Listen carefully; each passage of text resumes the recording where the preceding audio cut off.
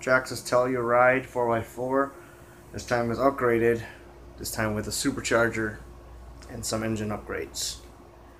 Um, I was able, I was I hit 164 miles per hour in stock. Let's see how well it does with an upgraded uh, power.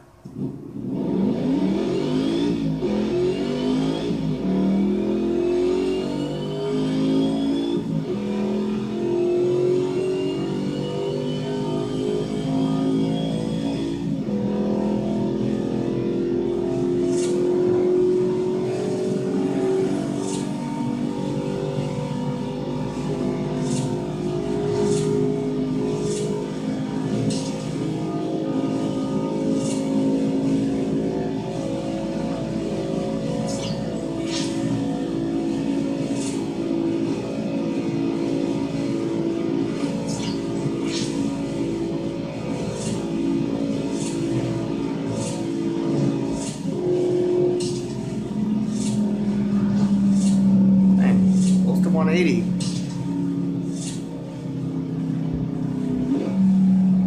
Not too bad.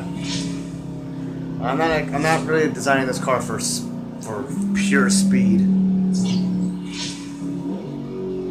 It's meant to uh, handle dirt roads.